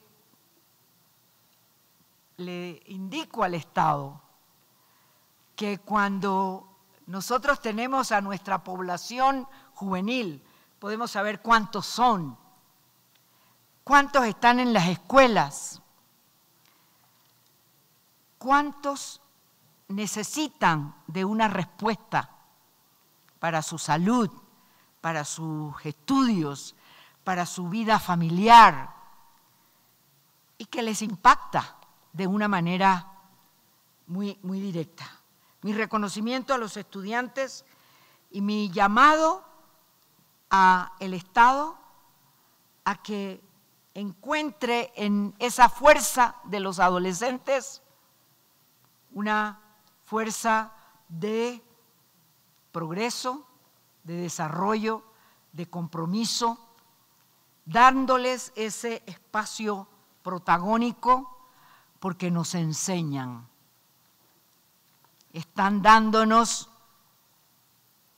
una enseñanza en la defensa de los derechos, aún exponiendo, en, poniendo en peligro su paz, su tranquilidad, sus, sus espacios de diversión, de alegría, etc. Quiero hacer ese llamado también a la sociedad civil para colocarlos en ese papel protagónico, reconocerles ese papel protagónico que tienen hoy en la demanda de nuestros derechos. No solo de sus derechos, sino de los derechos de los y las ciudadanas. Quiero hacer una, apuntar muy directamente al especial informe que la Defensoría de la Niñez ha planteado.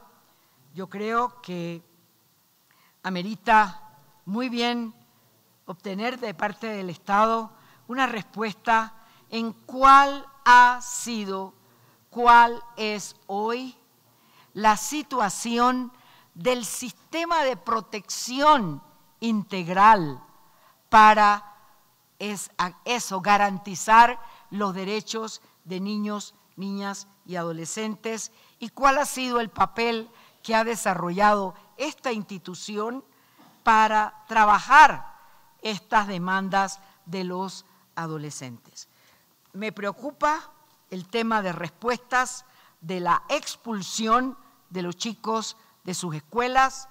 La expulsión no es una respuesta para atender la situación de los derechos de, los niños. La expulsión no puede ser la respuesta.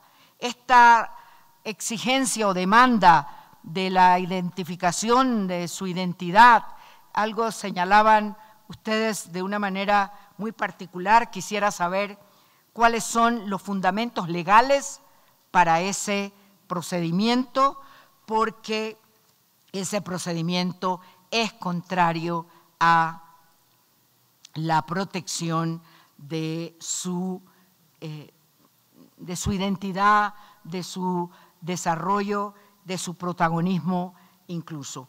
Entonces, eh, es una, es una eh, es una, un cuestionamiento, pero también una, una, demanda de tener una respuesta en la forma como hoy el grupo de los adolescentes que están involucrados en estos hechos, hay que tener una especial fórmula para atender esa situación. Aunque participen en estos hechos. No estoy eh, eh, em, avalando actos de violencia, esa no es la posición. Lo que, lo que me interesa es destacar que en ese derecho a la protesta, en esta etapa de la vida de las personas, obliga a las instituciones a asumir una posición de protección, una, una posición de aseguramiento que los derechos de esos niños y adolescentes no se vean vulnerados al punto, no sé cuántos están en condiciones de su tratamiento ocular, situaciones de, eh, de, fuerza, de, amenazas, y, hoy realmente mi llamado, aprovechando esta oportunidad, al, señor embajador, a quien agradezco la presencia de toda la delegación del gobierno de Chile, agradecer también esta eh, concreción de la visita de trabajo, que sabemos, lo ha señalado de una manera muy puntual el señor embajador, para eh, que, como hacemos siempre en las visitas eh, in loco, una, una visita de, trabajo para determinar los, las condiciones y el, desarrollo de una hoja de ruta para, para cada una de las actividades que dentro de una visita in loco se puede realizar. Entonces, agradeciendo esa, esa eh, diríamos, avanzada en la eh, evaluación de la situación para poder programar una visita in loco de una manera integral con todos los requerimientos que ello demanda.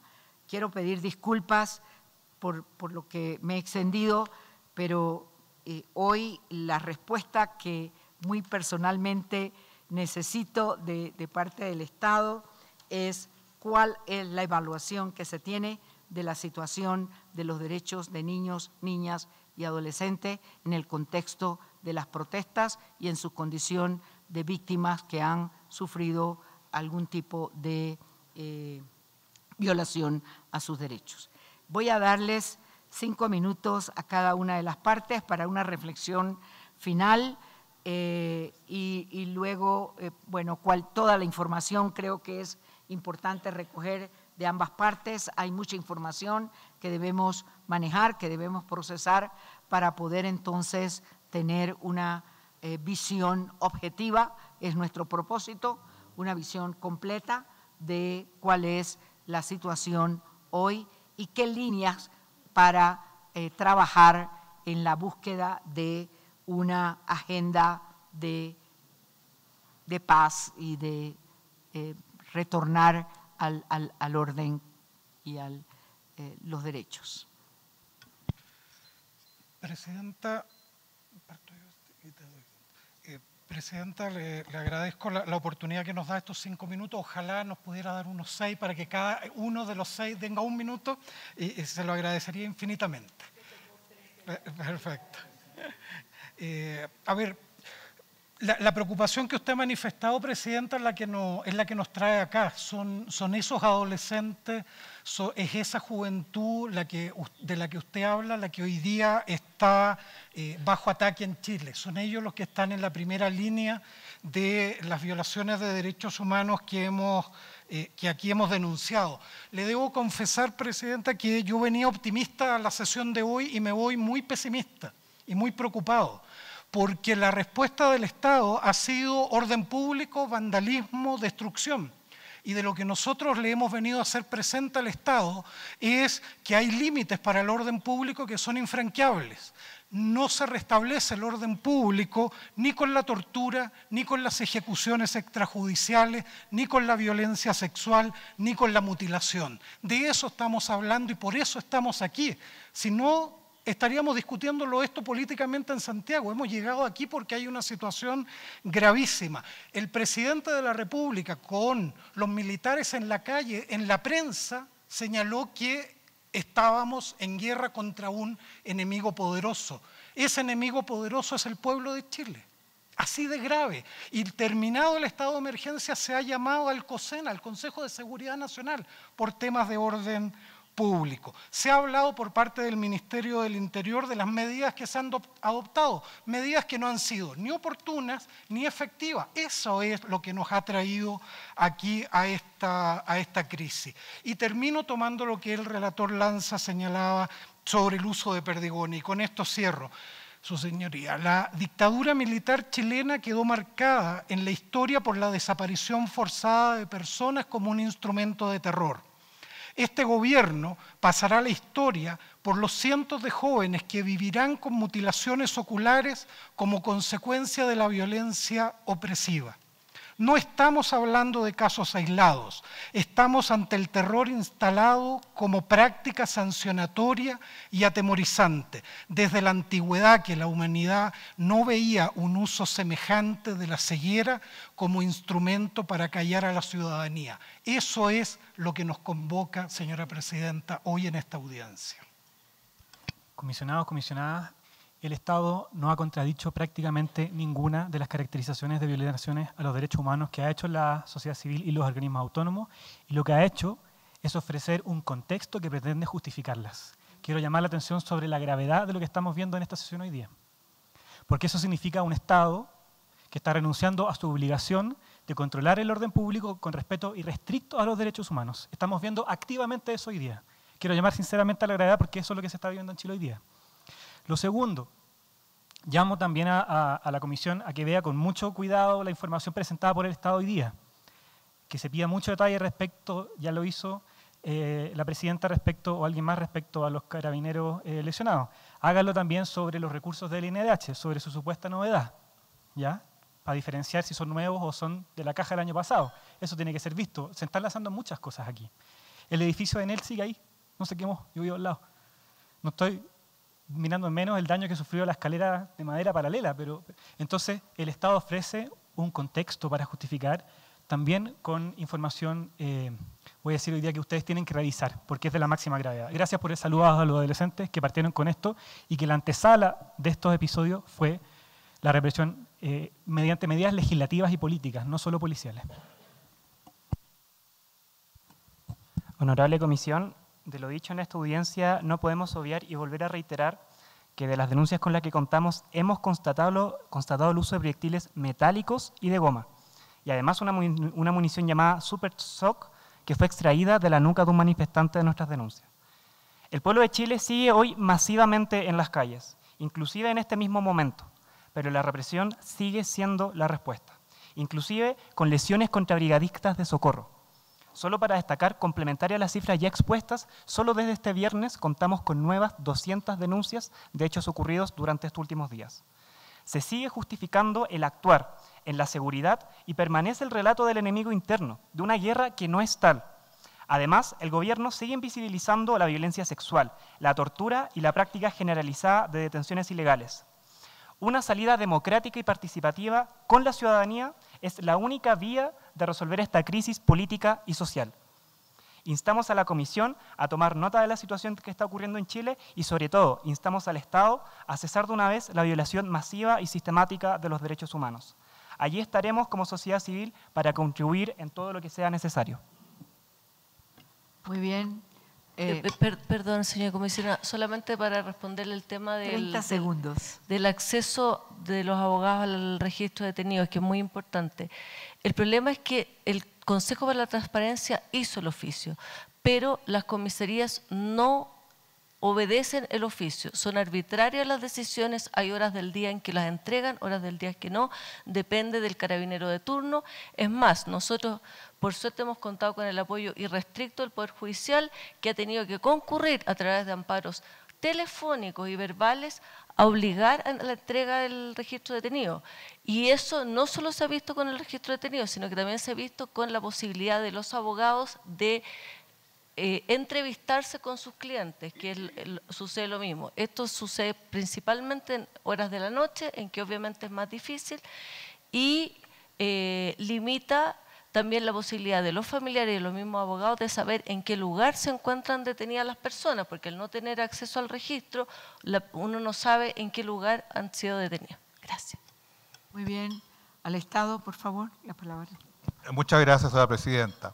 Yo me quiero referir, antes de darle la palabra a, mis compañeros de delegación, a una afirmación que hizo el comisionado Vargas respecto de, ¿no es cierto?, para desvalorizar desvalorizar la posición del Estado, que nosotros nos referíamos solamente a daños materiales.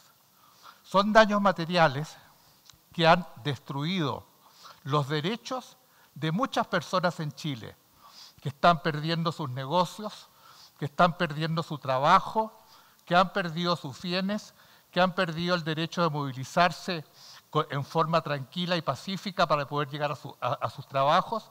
Es decir, no son solamente daños materiales, sino que son un conjunto de daños a los derechos, a los derechos humanos que se han producido como producto del vandalismo y de la destrucción que ha existido en Chile. Y eso lo quiero dejar bien claro. No estamos hablando de daños materiales, estamos hablando de los derechos humanos de todas las personas que han sido vandalizadas en sus personas y en sus bienes. Y eso creo que, quiero dejarlo claramente establecido aquí en esta, en esta sesión, señora presidenta, porque es inaceptable. Le doy la palabra ahora a el señor Bonito. Eh, presidenta, yo no, alcancé a terminar la, intervención por la escasez de tiempo de este tipo de, este tipo de audiencia, que es muy lógica además. Eh, por lo tanto, voy a tratar de, explicar la intervención justamente en la respuesta a las que pueda, a las que me alcance el tiempo a algunos de los comisionados, con el compromiso del Estado de enviarles datos duros y rigurosos sobre cada una de las preguntas que han realizado a la brevedad posible a través de nuestra misión ante la Organización de Estados Americanos.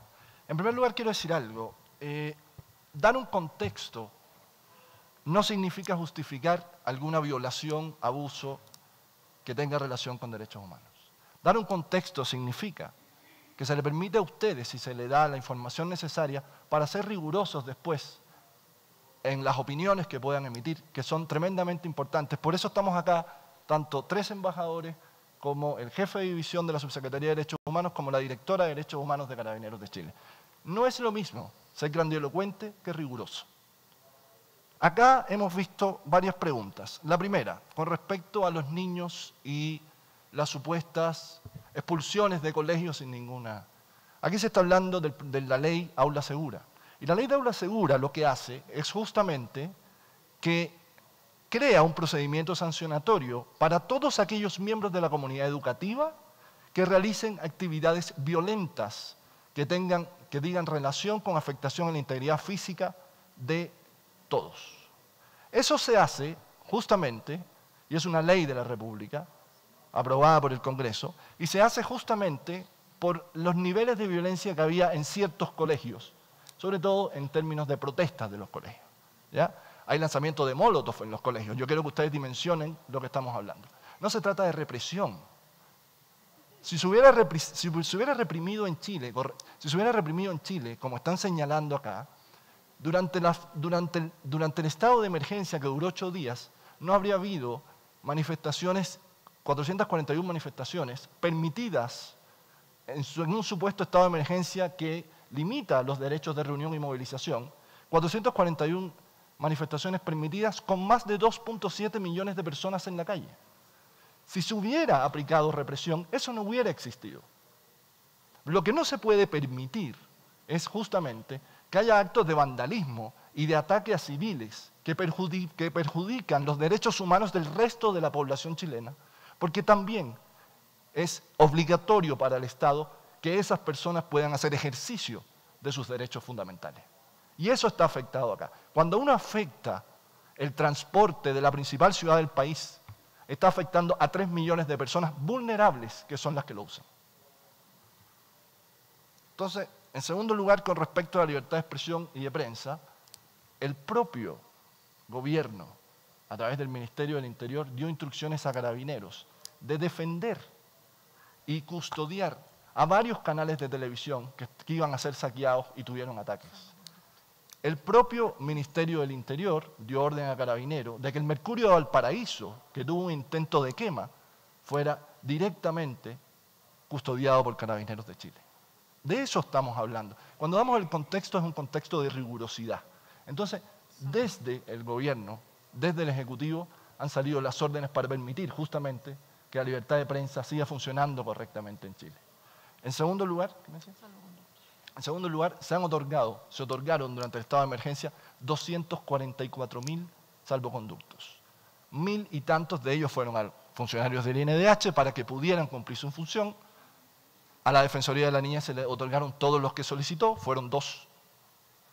Y a todos los demás. Y con respecto al tema de los abogados y el registro, el 97% de las personas que fueron detenidas en este contexto y que fueron a control de detención fueron representadas por la Defensoría Penal Pública.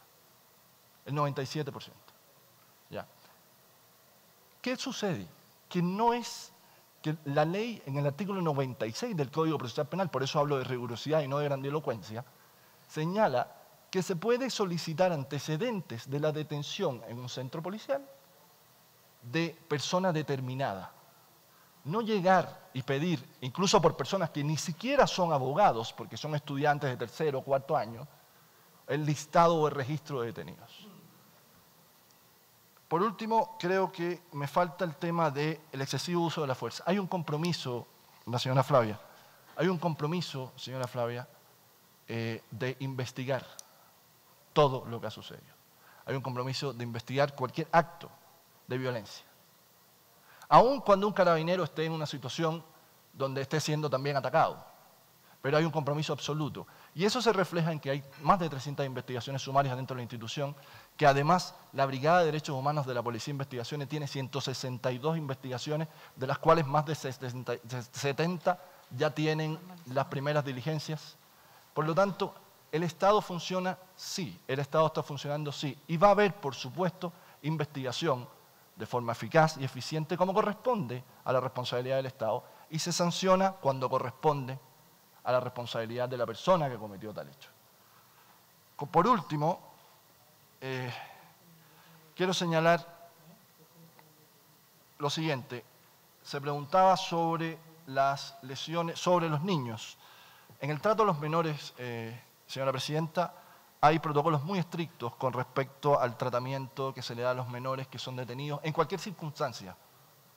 No tiene que ver con el estado de emergencia ni con la situación actual. Está la Orden General 2389, que se la vamos a hacer llegar, que establece un manual de procedimientos policiales con niños, niñas y adolescentes, destacando principios como separación de los adultos, adopción acuciosa, de procedimiento, integridad y seguridad, registro superficial y otros. A la fecha, no han habido 1.074. Nosotros tenemos registros de 1.627 niños, niñas y adolescentes que han sido detenidos. En su gran mayoría, el 87,8% de los detenidos concentrados en desórdenes, saqueos 351 y por quebrantamiento del toque de queda, que no es una detención propiamente tal, sino que se retiene justamente hasta que termine el toque de queda, 134. Entonces, a diario los jefes de zona, que son los jefes de las áreas, de las regiones generales a cargo, emiten órdenes sobre todos los protocolos que se deben cumplir sobre el uso de la fuerza de carabineros e incluso, y también necesaria, sobre la protección de los carabineros mismos. Entonces, hemos tomado todas las medidas a nuestra disposición, hemos tomado todas las medidas a nuestra disposición. No hay políticas públicas que afecten los derechos fundamentales de las personas de forma general, no hay. Todo lo contrario, han habido desde la actualización de los protocolos de uso de la fuerza, hasta la reactualización, hasta órdenes directas, hasta sanción, y hoy día hay 14 carabineros que están formalizados, uno de ellos con medidas cautelares, de las personas que estuvieron involucrados, militares. Hay varios con, medidas cautelares y uno de ellos está con prisión preventiva. Entonces, no es que el Estado no haya hecho nada, ni que el Estado tenga políticas públicas que tienden a la criminalización de, la, de, las manifestaciones. Si fuera así, no hubiera habido durante el estado de emergencia 2.7 millones de personas en la calle. Y le puedo decir más, el día que hubo 1.300.000 1.3 millones de personas en la calle fue el día que menos actos de violencia hubo. El día que menos detenidos hubo. Muchas gracias, Presidente.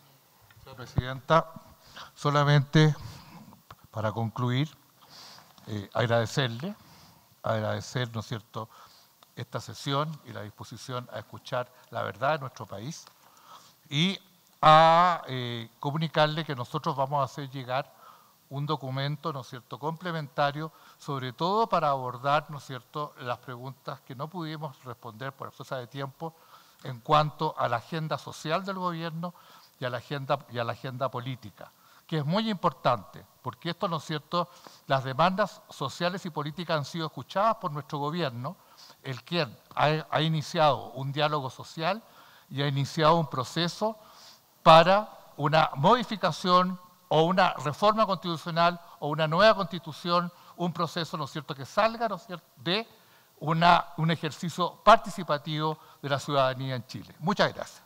Bien, voy a darle tres minutos a las entidades que eh, intervinieron. La verdad que debía habérselos dado antes de, de pasarle la, la, palabra al Estado, pero por favor, tres minutos, no, no, no puedo dar uno más. Muchas gracias. Nos vamos a dividir en parte igual entre el Instituto Nacional de Derechos Humanos y la Defensoría de los Derechos de la Niñez. Eh, voy a hacerlo muy esquemático. El registro público de detenidos, nosotros también hemos representado eso, que tiene que ser público, y eso es complementario a nuestra labor de supervisión porque el acceso a la justicia es un derecho garantizado. Sobre las cifras, las cifras que ustedes tienen, eh, se las hemos hecho llegar. Todas las cifras del Instituto Nacional de Derechos Humanos tienen nombre y apellido. No son estimaciones, son, nombres, son casos que nosotros hemos verificado. Y probablemente puedan ser más casos, pero no van a ser menos. Estos son los casos que nosotros hemos verificado y de por sí ya son bastante graves. Sobre esta información el Instituto desarrolla su mandato. Y son muchos los debates en materia de derechos humanos que nosotros tenemos que tener y probablemente la situación de crisis nos hacen que los tengamos que tener mucho más rápido. Y el Instituto también está eh, dando ese debate y también está aportando recomendaciones a los estados desde el año, de, del estado desde el año 2010. Y el año 2011 también tuvimos una audiencia temática sobre manifestaciones públicas. Es importante ver cuánto hemos avanzado y cuánto no desde, desde esa época. Pero yo me quiero quedar con el llamado a todos que la forma de superar esta crisis, porque estamos en crisis en este momento en Chile, en muchos ámbitos, social, política, es con más derechos humanos y no con menos derechos humanos. Y esto lo tenemos que decir una y otra vez. No podemos disminuir el espacio democrático. Y esto probablemente pueda ser una salida fácil para muchas, para muchas cosas. Pero lo, lo, difícil y lo correcto, lo duradero, es el fortalecimiento de la democracia y el Estado de Derecho, de todas las instituciones que hoy incluso pueden estar siendo cuestionadas. Y quiero también nuevamente decir, y también a, la sociedad civil, al Estado, que el Instituto va a seguir desarrollando su trabajo con independencia y autonomía y dando información, pero sobre todo protegiendo a las víctimas y previniendo las violaciones futuras de derechos humanos. Señora Presidenta, señores comisionados, lamentablemente el embajador no tiene la razón. Lo que el Estado ha dicho no es la verdad. Los balines de goma se usan no en hechos violentos, no como reacción activa, sino que indiscriminadamente contra personas que nada hacen en contra de personal policial. Lamento profundamente que el Estado de mi país se permita sostener hasta esta comisión situaciones que no se condicen con la realidad que hoy día niños, niñas y adolescentes en Chile están viviendo menos me parece razonable que el Estado de Chile pretenda hablar de los daños materiales sin haber hecho una reflexión respecto de los derechos humanos de todas las víctimas que en nuestro caso, igual que en el INDH, tienen nombre y apellido, caras y rostros, algunas lesionadas, otros rostros no lesionados, pero sí en su cuerpo y sin duda también en su alma. Y lamento, lamento también la exposición que esta delegación hace al presidente Piñera ante un organismo internacional al sostener información que no se condice con la realidad. Carabineros capacitados, le puedo decir, por si el señor Bonito no sabe, que Carabineros tiene instructores de derechos humanos liderados por la coronel Sosa, que ha hecho un esfuerzo porque su institución respete los derechos humanos. Esos instructores en derechos humanos no son los que hacen la formación de las fuerzas policiales, quienes hacen la formación de las fuerzas policiales son ex generales, ex coroneles o personas en retiro que de derechos humanos no saben. Por eso, por Kimberly, una niña de 9 años con un brazo fracturado, por Alexis, un niño de 17 años torturado por la policía, yo solicito expresamente que se acojan las peticiones que se han formulado por la Defensoría de la Niñez, tanto al Gobierno de Chile como a la Comisión Interamericana de Derechos Humanos. Bueno, muchas gracias. Quiero...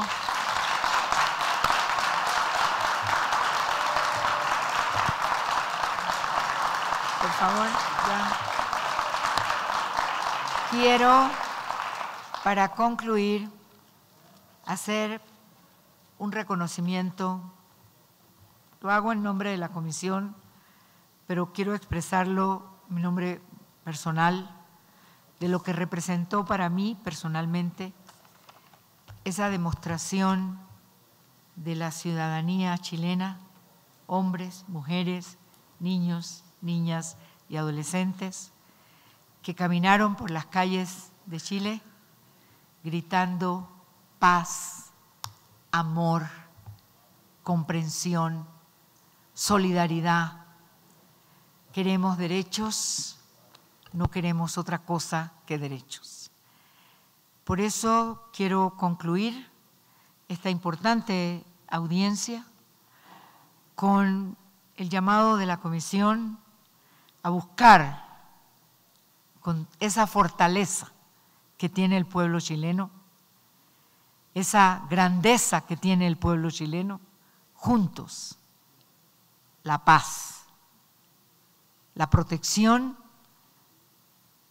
de los más afectados por factores de vulnerabilidad que son conocidas. Una población que demanda sus derechos es una población fuerte. Es una población que tiene que llenar de orgullo a las autoridades de un país. Porque en, esa, en ese clamor por los derechos está el reconocimiento de la dignidad de todas las personas. Mi felicitación al pueblo chileno por eso. Y hoy agradecer a la sociedad civil, a los chicos que, sé que nos han seguido en los medios de comunicación, esas son las fórmulas que ellos saben utilizar muy bien, eh, con el compromiso de la Comisión de coadyuvar a este esfuerzo de la construcción de o la reconstrucción de esa paz y de esa solidaridad y esa necesidad de seguir siendo Chile un ejemplo para el continente. Yo creo que eso es, tiene que llenarlos de orgullo y de satisfacción. Y por eso la lucha por los derechos humanos es un compromiso de todos, de todos, autoridades y sociedad. Agradecer al Estado chileno eh, la confirmación de esta invitación, eh, colocando, colocando la, aprobación de la visita de, de trabajo en una primera avanzada, para decirlo de alguna forma, pero es la manera como la Comisión prepara las visitas en loco para evaluar junto con la sociedad civil también en esa visita de trabajo las consideraciones que la sociedad civil también tiene para ser atendidas en esa visita de trabajo. Muchísimas gracias a todos y todas por este acto de audiencia muy importante para la Comisión y para Chile. Damos por cerrada la audiencia.